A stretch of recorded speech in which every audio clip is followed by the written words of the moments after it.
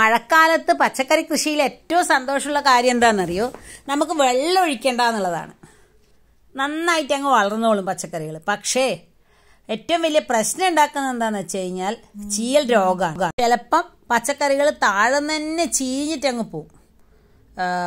അതോടൊപ്പം തന്നെ പലപ്പോഴും വാട്ടരോഗവും കൂടി ഇതിന്റെ കൂടെ വരും.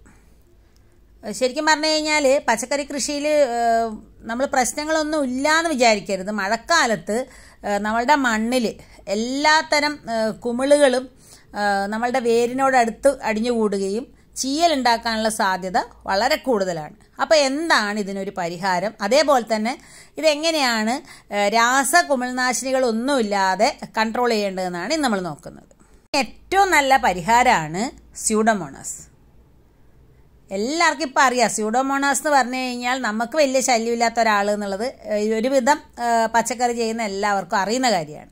പക്ഷേ എങ്ങനെയാണ് സൂഡോമോണാസ് ആക്ട് ചെയ്യുന്നതെന്നാണ് എന്തുകൊണ്ടാണ് നമ്മളത് ഉപയോഗിക്കേണ്ടത് എങ്ങനെയാണ് ഉപയോഗിക്കേണ്ടത് നോക്കാം. ശരിക്കും പറഞ്ഞാലുണ്ടല്ലോ സൂഡോമോണാസ് ഒരു സർവരോഗ സംഹാരി എന്ന് വേണമെങ്കിൽ വിളിക്കാം. നെല്ലും പച്ചക്കറിയും നമ്മളെ പഴവർഗങ്ങളും മാത്രമൊന്നും അല്ല കേട്ടോ. നമ്മളെ വീട്ടുമുറ്റത്തെ അലങ്കാര സസ്യങ്ങൾക്ക് വരെ ഉണ്ടാകുന്ന ചീയൽ രോഗങ്ങൾക്ക് വളരെ എഫക്റ്റീവായിട്ട് ഉപയോഗിക്കാൻ പറ്റുന്ന ഒരു മിത്ര കുമിളാണ് മിത്ര ബാക്ടീരിയയാണ് സ്യൂഡമോണസ് നെല്ലിന്റെ ഇലപ്പുള്ളി കുലവാട്ടം തുടങ്ങിയ രോഗങ്ങൾ മുതൽ നമ്മളെ പച്ചക്കറിയുടെ ചീയൽ രോഗം തുടങ്ങി വാഴയുള്ള സിഗാട്ടോക്കൊക്കെ വരെ വളരെ എഫക്റ്റീവായിട്ട് നമുക്കിത് ഉപയോഗിക്കാൻ പറ്റും. ഉപയോഗിക്കേണ്ട രീതിയിൽ ഉപയോഗിക്കണം എന്ന് മാത്രം. ഓരോന്നിനും ഓരോ സമയമില്ലേ? അതിൽ ആ സമയത്ത് തന്നെ ഉപയോഗിക്കണം. അപ്പോൾ തുടക്കം എങ്ങനെയാണെന്ന് വെച്ച് കഴിഞ്ഞാൽ ഇപ്പോൾ നമ്മളൊരു പച്ചക്കറി നടുമ്പോൾ ആദ്യം തന്നെ വിത്തിൽ പുരട്ടുക അല്ലെങ്കിൽ വിത്ത് മുക്കി വെക്കുക എന്നുള്ളതാണ് ഏറ്റവും പ്രധാനപ്പെട്ട കാര്യം.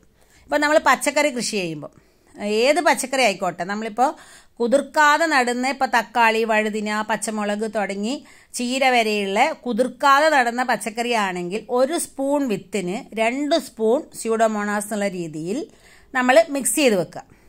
മിക്സ് ചെയ്യുമ്പോൾ നമുക്കത് ഒന്ന് നനവ് വേണമല്ലോ. ആ നനവിന് വേണ്ടി നമുക്കൊരു ഒരു അഞ്ചാറ് തുള്ളി പുളിച്ച മോരോ അല്ലെങ്കിൽ പുളിച്ച കഞ്ഞിവെള്ളമോ ഇട്ട് പുരട്ടി വെക്കാം. ഇങ്ങനെ പുരട്ടി ഒരു അരമണിക്കൂർ കഴിഞ്ഞതിന് ശേഷം വിത്ത് പാകുന്നതാണ് തക്കാളി വഴുതിന പച്ചമുളക് തുടങ്ങിയിട്ടുള്ള രോഗങ്ങൾ ഉണ്ടാവുന്ന ചീയൽ രോഗങ്ങൾ ഒഴിവാക്കാനുള്ള ഏറ്റവും നല്ല ഉപാധി. അതേപോലെ തന്നെ ചില സ്ഥലങ്ങളിൽ ചീരയുടെ ചുവട് ചീഞ്ഞു പോകുന്ന ഒരു പ്രശ്നമുണ്ട് അപ്പോൾ നമ്മൾ നമ്മൾ പറയില്ലേ മുളയിലേ നുള്ളുക അതുപോലെ വിത്തിൽ പുരട്ടി പാകുന്നതാണ് ഏറ്റവും നല്ലത്.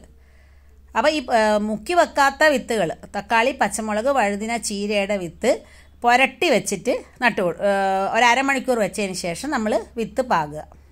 അതേസമയം നമ്മൾ വെണ്ട പയറ് കയ്പ തുടങ്ങിയിട്ടുള്ള നമ്മൾ കുതിർക്കുന്ന വിത്താണെങ്കിൽ അതിലെന്ത് ചെയ്യണം? മുക്കാൽ ലിറ്റർ വെള്ളത്തിലേക്ക് കാ കിലോഗ്രാം സൂഡോമോണസ് നമുക്ക് അങ്ങനെയൊന്നും എടുക്കണ്ടപ്പാ. നമ്മളെ വീട്ടിൽ ചെയ്യുമ്പോൾ ഒരു ഗ്ലാസ് വെള്ളത്തിലേക്ക് ഒരു നാലോ അഞ്ചോ ടീസ്പൂൺ ടീസ്പൂൺ ഇരുപത്തഞ്ച് ഗ്രാം സൂഡോമോണാസ് കലക്കിയതിന് ശേഷം നമുക്ക് ഒരു ഇരുപത്തിനാല് മണിക്കൂർ കുതിർത്ത് വെക്കുക. എന്നിട്ട് നടുക.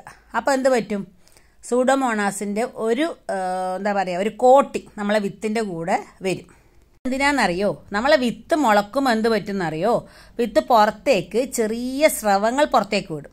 ആ സ്രവങ്ങളിലൂടെ തന്നെ ആരെത്തും എന്നറിയോ വിത്തിന്റെ അടുത്തേക്ക്?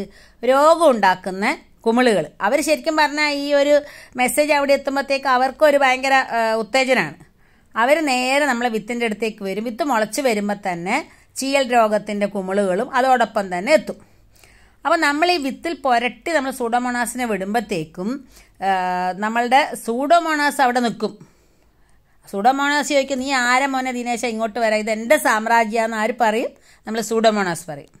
ശരിക്കും പരീക്ഷണങ്ങളിൽ കണ്ടിട്ടുള്ളത് എന്താണെന്നറിയോ? ഇപ്പോൾ ചീയൽ രോഗമൊക്കെ ഉണ്ടാക്കുന്ന ബാക്ടീരിയക്കൊക്കെ ഒരു രണ്ട് സെന്റിമീറ്റർ വരെ സഞ്ചരിച്ചിട്ട് നമ്മളെ വിത്തിന്റെ അടുത്തേക്ക് എത്താൻ പറ്റും ഈ രോഗം ഉണ്ടാക്കുന്ന ആളുകൾക്ക്. അപ്പോൾ നമ്മളുടെ സൂഡോമോണാസ് അവിടെ ഉണ്ടാവുമ്പോൾ നമ്മൾ സൂഡോമോണാസ് ആ ഒരു എന്താ പറയുക ഒരു പ്രൊട്ടക്റ്റീവ് ലെയർ പോലെ നമ്മളെ വിത്തിന് ചുറ്റും നിന്നുകൊണ്ട് രോഗം ഉണ്ടാക്കുന്ന ആളുകൾ കുമിളുകൾക്കെതിരെ നന്നായിട്ട് ഫൈറ്റ് ചെയ്യാൻ പറ്റും. അപ്പോൾ നമ്മൾ തുടക്കത്തിൽ തന്നെ നമ്മളുടെ ചെടിക്ക് അവിടെ ഒരു നമ്മൾ എന്താ പറയുക ഒരു ഊർജം നമ്മൾ കൊടുക്കുകയാണ്. ഇതെങ്ങനെയാണെന്നറിയോ? നമ്മളെ സൂഡോമോണാസ് കുറേ ആന്റിബയോട്ടിക് പുറത്തു വിടും. അതായത് വിൻകോസമൈഡ് ഫെനാസിൻ സ്വെറ്റർമൈസിൻ കനോസമൈൻ തുടങ്ങിയവ ഈ മുളക്കുന്ന വിത്തിന് ചുറ്റും ഉണ്ടാവുകയും വിത്തിന് ഈ രോഗം ഉണ്ടാക്കുന്ന പിത്തിയം ഫൈറ്റോഫ്തോറ തുടങ്ങിയ കുമിളുകളിൽ നിന്ന് രക്ഷിക്കുകയും ചെയ്യും. അതുപോലെ തന്നെ നമ്മൾ സൂഡോമോണാസ് ഉൽപ്പാദിപ്പിക്കുന്ന ഒരു ബാക്ടീരിയോസിൻ എന്ത് ചെയ്യും എന്ന് പറഞ്ഞാൽ ഉപദ്രവകാരികളായ ബാക്ടീരിയകളെ നശിപ്പിക്കുകയും ചെയ്യും. ബാക്ടീരിയോസ് എന്ന് പറയുന്ന സാധനം ബാക്ടീരിയകളെ നശിപ്പിക്കുമെങ്കിൽ ഈ സൂഡോമോണാസ് ഉൽപ്പാദിപ്പിക്കുന്ന അസറ്റൈൽ ഫ്ലൂറോഗ്ലൂസിനോൾ പൈറോനൈട്രീൻ പൈലുട്ടോറിൻ തുടങ്ങിയവ കുമിളുകളെ രോഗം ഉണ്ടാക്കുന്ന കുമിളുകളെ നശിപ്പിക്കാനാണ് സൂഡോമോണാസ് പുറത്തുവിടുക. അപ്പം ഇത് ഇങ്ങനെ നമ്മളുടെ ചെടികളെ രക്ഷിച്ചെടുക്കാൻ നമ്മൾ സൂഡോമോണാസ് രക്ഷകനായിട്ട് തന്നെ അവിടെ ഉണ്ട് ഇത് കൂടാതെ നമ്മുടെ സൂ- സൂഡമോണാസ് പുറത്തേക്ക് വിടുന്ന ഒരു എൻസൈം ഉണ്ട്. കൈറ്റിനേസ് എന്ന് പറയുന്ന എൻസൈം ഇതെന്ത് ചെയ്യുന്ന വെച്ച് കഴിഞ്ഞാൽ നമ്മളുടെ രോഗം ഉണ്ടാക്കുന്ന കുമിളുകളുടെ കോശഭിത്തി അവിടെ പൊളിക്കും.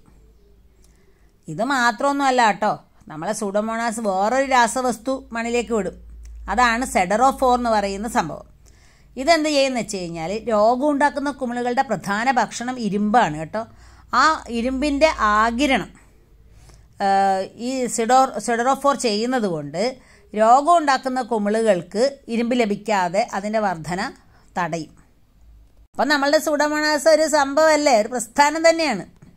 ഇപ്പം നിങ്ങൾ വിചാരിക്കുന്നുണ്ടാവും ഈശ്വര ഞാൻ സൂഡോമോണാസ് പുരട്ടാതെയാണല്ലോ നട്ടതെന്ന്? ബേജാറാക്കൊന്നും വേണ്ട. നമുക്ക് വേറൊരു കാര്യം ചെയ്യാം. സൂഡോമോണാസ് ചാണകപ്പൊടിയിൽ വളർത്തിയെടുത്ത് നമുക്ക് ഇട്ട് കൊടുക്കാം വളർത്താനൊന്നും സമയമില്ലെങ്കിൽ ഒരു കാര്യം ചെയ്തോളൂ.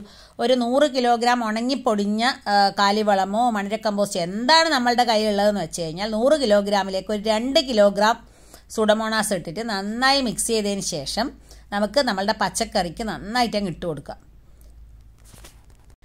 അതും ചെയ്തു പോയി എന്നുണ്ടെങ്കിൽ നമ്മൾ നടുമ്പോൾ മാത്രം ചെയ്താൽ പോരാ. നമുക്ക് വീണ്ടും അതായത് ഒരു ഫിഫ്റ്റീൻ ഡേയ്സ് ഇന്റർവെല്ലിൽ നമുക്ക് ചാണകപ്പൊടിയിൽ മിക്സ് ചെയ്ത് കൊടുക്കാം. അല്ലെങ്കിൽ നമുക്ക് വേറൊരു കാര്യം ചെയ്യാൻ പറ്റുന്നത് സൂഡോമോണാസ് നമുക്ക് സ്പ്രേ ചെയ്ത് കൊടുക്കാം. എങ്ങനെ സ്പ്രേ ചെയ്യണം? ഇരുപത് ഗ്രാം സൂഡോമോണാസ് ഒരു ലിറ്റർ വെള്ളത്തിൽ കലക്കി നമ്മളുടെ ചെടിയുടെ ഇലകളിൽ നല്ല രീതിയിൽ സ്പ്രേ ചെയ്ത് കൊടുക്കാം. അതുപോലെ തന്നെ നമ്മളെ തടത്തിൽ കുതിർത്ത് കൊടുക്കുകയും ചെയ്യാം. ഇങ്ങനെ ചെയ്യുമ്പോഴത്തേക്കും നമ്മളുടെ ചെടീനെ ആക്രമിക്കുന്ന ഫൈറ്റ് ഓഫ് തോറ ഫിസേറിയം തുടങ്ങിയ കുമിളുകളുടെ നിയന്ത്രണം നമുക്കിങ്ങനെ തന്നെ കിട്ടും. പിന്നെ ഒരു പ്രത്യേകത എന്താണെന്ന് അറിയോ ഇതിനകത്ത് ഇത് ചെറിയൊരു വളർച്ച പ്രോത്സാഹിപ്പിക്കുന്ന ഒരാളും കൂടിയാണ്. അപ്പം നമ്മൾ സുഡോമോണാസ് സ്പ്രേ ചെയ്യുമ്പോഴത്തേക്കും വേരിന്റെയും ഇലകളുടെയും വളർച്ച കൂടുന്നു. അതേപോലെ തന്നെ ചെടികൾ കൂടുതൽ ശിഖരങ്ങൾ ഉണ്ടാവും ഉയരം വെക്കും കൂടുതൽ പൂക്കൾ ആ, അങ്ങനെ തന്നെ നമ്മളുടെ ഉൽപ്പാദനം കൂട്ടാനുള്ള ഒരു ഉപാധിയായിട്ട് പോലും നമുക്ക് സൂഡോമോണാസ് പ്രയോഗിക്കാൻ പറ്റും. പച്ചക്കറികൾ നമുക്ക് വേണമെങ്കിൽ ഒരു ഫിഫ്റ്റീൻ ഡേയ്സ് ഇന്റർവെല്ലിൽ നമുക്ക് സ്പ്രേ ചെയ്ത് കൊടുക്കാം. തീർച്ചയായിട്ടും നമുക്ക് ആ സമയത്ത് നമ്മളുടെ പൂക്കൾ ചെടികളിൽ പൂക്കൾ ഉണ്ടാവുന്നത് വളരെ പ്രധാനപ്പെട്ട കാര്യമാണ്. അപ്പോൾ പൂക്കളുടെ എണ്ണം കൂട്ടാനും അതേപോലെ തന്നെ മത്തനിലൊക്കെ ഉണ്ടാകുന്ന ചീയൽ രോഗത്തെ കായ ഉണ്ടായിക്കഴിഞ്ഞാൽ കായയുടെ അറ്റം കറുത്ത് ചീഞ്ഞു പോകുന്നൊരു പ്രത്യേകത കാണാറുണ്ട്. അത് ഒഴിവാക്കാനും അതിനെ നമുക്ക് കൺട്രോൾ ചെയ്യാനും സാധിക്കുന്നത് നമുക്ക് സൂഡോമോണാസ് സ്പ്രേ ചെയ്യുന്നതിലൂടെ തന്നെയാണ്. അപ്പോൾ നിങ്ങളിപ്പോൾ വിചാരിക്കുന്നത് ഏടുന്ന അപ്പം വാങ്ങുക. സൂഡോമോണാസ് വാങ്ങിക്കുമ്പോൾ വളരെ കെയർഫുൾ ആയിരിക്കണം. ഒരിക്കലും നമ്മൾ വിശ്വാസയോഗ്യമായ സ്ഥലങ്ങളിൽ നിന്ന് മാത്രമേ സൂഡോമോണാസ് വാങ്ങാൻ പറ്റൂ. ഒന്നുകിൽ നമ്മളുടെ കാർഷിക സർവകലാശാലയുടെ കേന്ദ്രങ്ങളിൽ നിന്ന് അല്ലെങ്കിൽ കൃഷിഭവന്റെ സ്വന്തമായിട്ടുള്ള എക്കോ ഷോപ്പ് ബയോഫാർമസി അങ്ങനെയുള്ള സ്ഥലങ്ങളിൽ നിന്ന് നിങ്ങൾക്ക് സുഡമോണാസ് പൈസ കൊടുത്ത് വാങ്ങാൻ പറ്റും. ഒരു കിലോഗ്രാമിന് മാക്സിമം നൂറ് നൂറ്റിപ്പത്ത് രൂപ വരെ വിലയുള്ളൂ. അത് നിങ്ങൾക്ക് തീർച്ചയായിട്ടും വളരെ കുറഞ്ഞ ചിലവിൽ നമുക്ക് ഉപയോഗിക്കാൻ പറ്റും. പക്ഷെ ഒരു പ്രാവശ്യം പൊട്ടിച്ചു കഴിഞ്ഞാൽ ആറ് മാസത്തേക്കാണ് അതിന്റെ ഉപയോഗം ഉണ്ടാവുക.